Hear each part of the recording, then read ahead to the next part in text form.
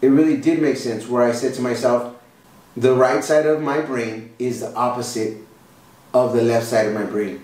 And the same thing goes for my body. So physically, we're opposites of each other, and mentally, the same thing happens. But the reason why people don't realize that is because the percentage of people that can use both hands equally in the whole world is under 1%.